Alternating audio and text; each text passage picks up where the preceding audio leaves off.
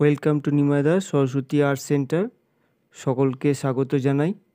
আমি আজকে একটা ওয়াটার কালার ড্রয়িং করতে চলেছি। সেটা কীভাবে করছি, সবাই মিলে দেখুন।